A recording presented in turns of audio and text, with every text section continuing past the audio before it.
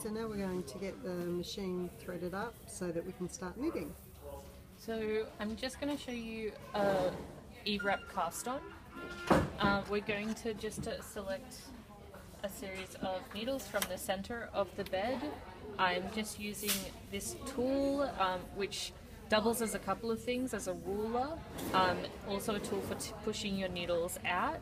Um, you can also use it to be selective and uh, um, choose every second needle.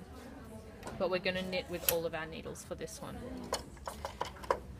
First up, we're going to cast on. This is a finished cast on that we're going to do, and it's called an E-wrap cast on. So I'm just going to draw a length of yarn out um, so that I've got a little bit hanging so it's easy to work with. I'm going to do a, I'm going to make a slip knot. A very easy way to do that is to just grab your yarn, twist it, and this yarn that will be in front, just go through and grab that again. That's a slip knot, so you can see that you can pull it open and closed. This slip knot goes on to the opposite side to where the carriage is. So you want it on that first needle opposite the carriage. Just gonna pull a bit more length. So the E-wrap cast on, you move around the needles in the shape of an E. So that's counterclockwise. I'm just using that finger to hold. Yeah, so you have to um, you use your hands quite ambidextrously, um, and uh, so one hand will be guiding the yarn, and the other one will be holding it in place.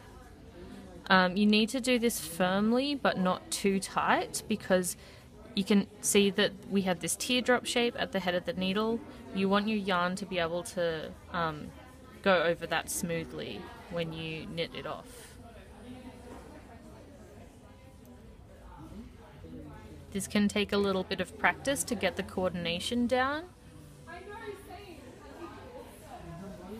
Okay, so once we've finished doing that, I'm just going to pull my yarn from back here to help draw the tension back in. So this wire up the top that's holding our tension in the yarn, that's going to get drawn back down. Now this is now going to go into the carriage. You can see this is where it sits in the carriage and there are two sections, there's A and B.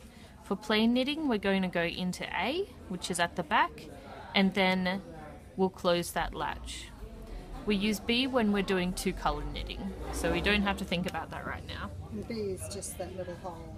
Yeah, so B Yeah. is if you're popping it in there. Yeah. So you would have to do that with the latch closed.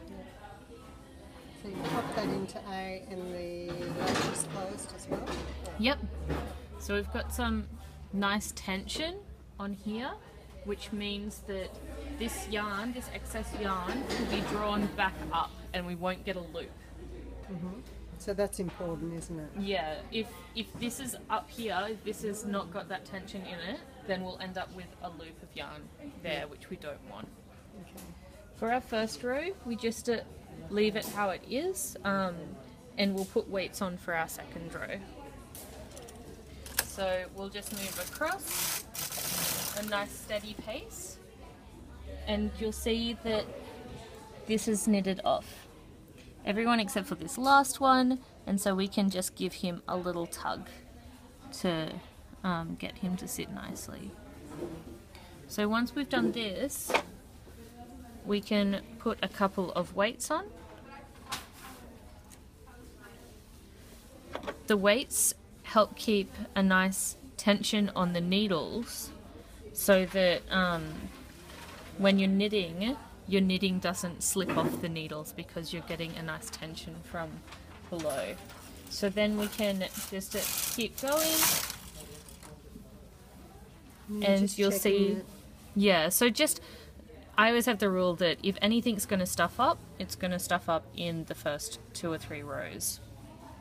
And uh, so we just like to keep checking